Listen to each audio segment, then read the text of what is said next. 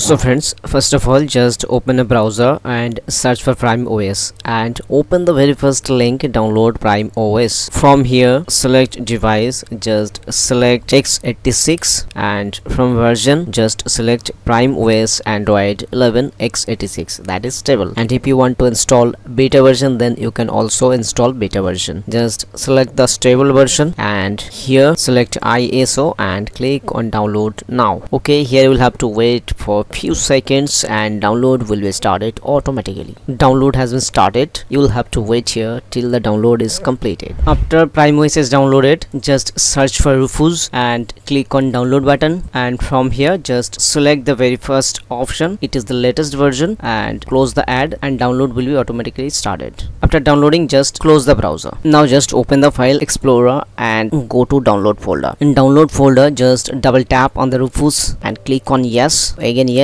and now select the prime os iso file and drag and drop it to the Rufus application and now just insert a minimum 8GB pen drive to your PC. The pen drive will be detected automatically. Just click on start and click on OK. Click on yes. Everything on your pen drive will be erased. Click on yes. The process has been started. You'll have to wait here to complete the process.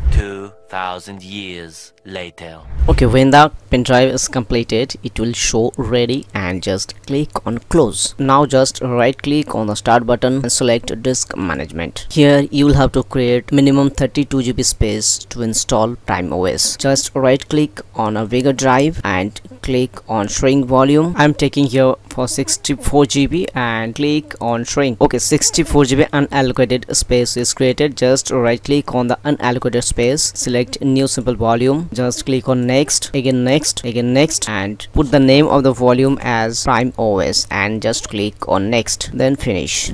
Okay prime os drive is created. Now just restart your pc and access the boot menu of your pc to access the boot menu of your pc you can refer this photo. Otherwise you can search on google. Now from the boot menu just select your pen drive and hit enter. From this menu just select the prime os 2.1.3 installation. Just select and hit enter. Just wait a few seconds to run the codes. Now on the screen just select your drive. As here i'm selecting the drive that is prime os 64 gb just select and click on enter. Now here just select don't reformat just click on enter select yes and click on enter. Okay just wait few minutes to install the os on your system. Now on the screen just select yes and hit on enter. Now here you can select the disk image size just keep the default and hit enter. Now on the screen you can reboot or run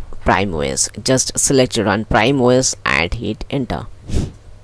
Okay now on the screen just select prime os and if you want to start with windows 11 just select windows and hit enter. Now just i'm selecting prime os and hitting enter. Okay prime os will start. Just wait few seconds here now just set up your prime os accept terms and conditions. Welcome to prime os prime os is completely installed on your pc now just open the play store app and sign in with google account. Congratulations. Prime os has been installed on your pc with google play store support